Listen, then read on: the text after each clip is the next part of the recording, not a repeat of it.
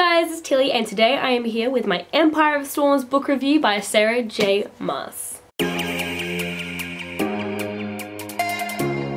all honesty, I have filmed this video three times and every time I finish it I go and sit down and start editing it and think damn, there's something else I should have said about that book, or there was other parts I need to add, and so I just scrapped it. But this will be my final video. I will upload this one no matter what, and so let's get straight into it. I will do this review in two parts. The first one will be spoiler free, and the second half will be full of spoilers because I am absolutely brimming to talk about this book and everything that happened in it. So I'm going to get started straight away and just jump into the spoiler free part. So this is the fifth book in the Throne of Glass series basically. We pick up after um, Aelin has saved Dorian getting his collar broken off. Manon is back with her clan, kind of like an outcast amongst everyone because everyone's very suspicious of her group and so it's all kind of really on edge. It was actually quite a happy ending so we kind of had to expect a bunch of stuff to go down in this book. And it does. So for those of you who haven't read it yet,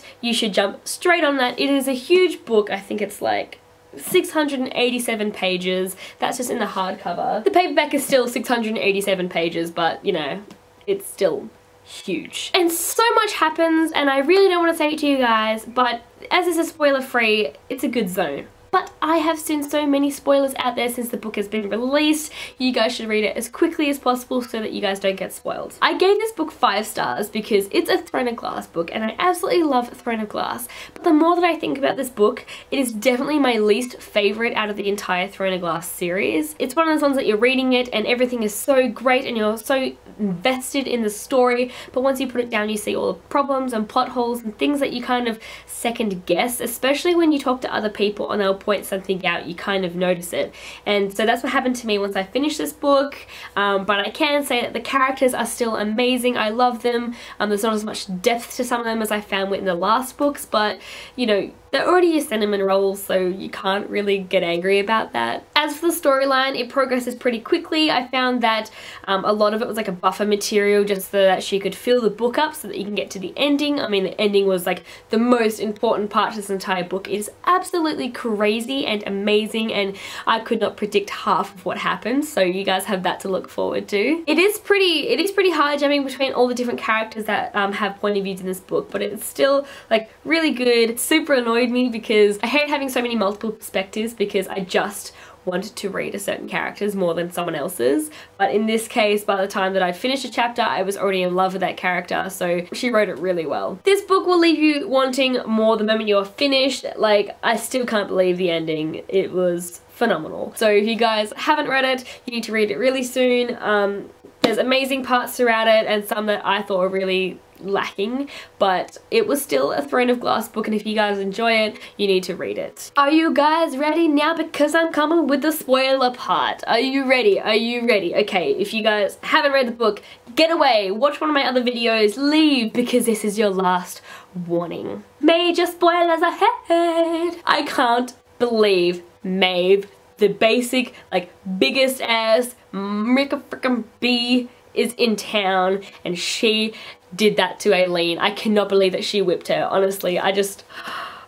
I am so hurt by that. Like, I can just picture Aelin and everything that's happened to her and the fact that Maeve would do that to our queen. It is not fair. I am so emotional from that. That ending, like, that's the only reason I gave the book five stars because it was so hectic and like horrible but good and I have so many emotions still. Like I finished this book like two days after it came out and I'm still so torn over ending. I'm happy about it. I am so broken by it and I just don't know what to do. Lysandra is now like pretending to be Aelin and like Rowan's gonna be this little angry muffin and Aedion and Lysandra and I just I just I can't I can't do this. So uh like I said there were things I liked about this book and things that I did not like. Now for things that I liked um I like that Aedion is canonly bisexual. Like yes it's happening. Um, Sarah J. Maas just needs to write more diverse characters into her books because we just need them. We need more of them. As for Manon, she is still totally and completely badass.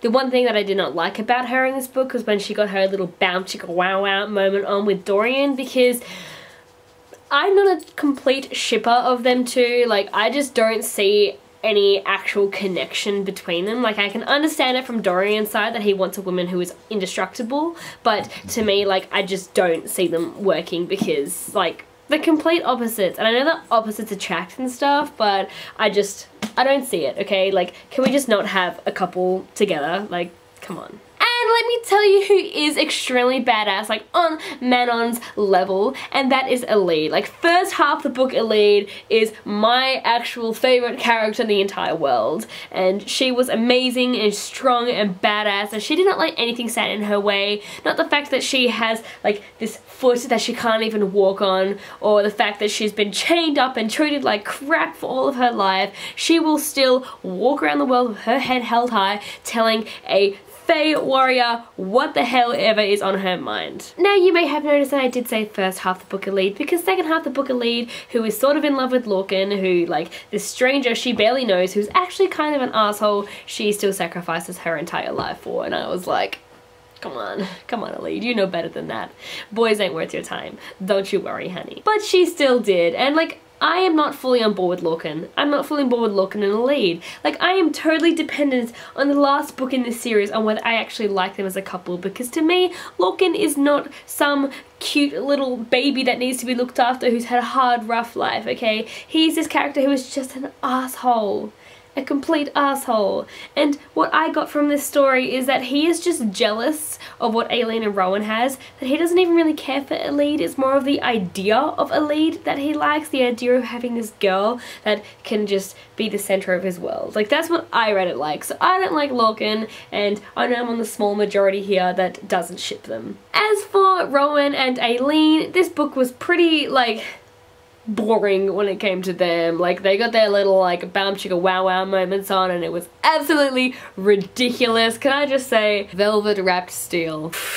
that is like a joke on its own. Just that one sentence. Like what the hell? Their parts to me were just so flat. Like all they wanted to do was like get it on, think about biting each other, lustful looks and all that kind of stuff. Except for the ending obviously because Aelin in that ending was just queen queen. Them two just didn't bother me much in the story. I am still completely in love with Lysandra. She is still amazing. All of her shifting forms, she's just perfect. One thing that I really, really did not like about this book was the romance of it all. Like I understand that a lot of people like romance in books, but for me, to have every single character paired up with some sort of Fae warrior by the end of it, I was just like, get over it. I, I don't want romance like for every single chapter. I would just appreciate the storyline getting involved instead of just two characters doing the do. Oh my god, I totally forgot my absolute favorite character ever who's Asterin. I love her. I need more of her. She is so perfect. Like when she was going to die, I was, I think that's the only time I cried in the book was when I thought she was going to die. I was fully prepared to hate Manon if she let Asterin die. And I'm so glad that she didn't. But like, oh, my heart stopped it actually stopped. Looking back like on the storyline as well, like I can't think of everything that actually happened because I found that a lot of the stuff that went down was like a buffer just to get towards the end. And I know that the ending was amazing and everything, but like they did a lot of pointless stuff on the way and I can't even remember it. All I can think about is the ending. That's like it. I don't remember any else parts of the story. It's just that ending. I also felt like Sarah J Maas just no longer cares about the original trio, you know, like when it was Celaena and Chaol and Dorian, and now it's kind of like she's just rewritten the story to kind of get those characters out. Like, I don't think that Dorian really had as much time in the book as he usually did. Like, I can't think of a conversation that him and Aelin even had. Like, they are no longer like this dream friendship that was in the start of the series, and not to mention that Chaol wasn't even in the book. Like, I didn't even care about Chaol, but he barely even got mentioned which I thought was a little rough. Still gonna read the series, I still enjoy the book, but you know, what's he up to? You know, how's he doing? You know, he almost died and everything for his friends, but whatever. But the writing was super good. Like I did enjoy that. It was really quick despite the fact that it's a huge book. I think that with every Sarah J Maas book she writes, she's just getting better and better, but my heart still belongs to A Court of Mist and Fury. Anyway, so that pretty much sums up all my feelings for the book. I'm fairly certain that there will be more things that I have to point out, but this is my final review, as I said at the start. It is prone to being edited. I will maybe do a written one eventually so that I can actually edit that. So don't hold me accountable for this review for the rest of my life. But, you know, happy to discuss it, happy to talk about the things that we might have conflicting issues on, but I'm totally down for talking about Empire Storms or any Throne of Glass book for that matter, or just Sarah J Maas. Thank you guys for watching and I hope you guys enjoyed the book as much as I did and I hope that you guys don't get too angry about things that I didn't like about the book because as you might have noticed, there was quite a lot. I shall be back again soon. Um, I will be doing a recaptions video on the entire Throne of Glass series, so keep an eye out for those videos. And until then, I hope you guys have a lovely bookish day and um, hopefully great things happen to you. It is a goodbye from me and the fire-breathing bitch queen. So there you guys have where I have been, what I have been doing, and all the stuff that's been going on in my life for the last two months. But that is not important because I'm back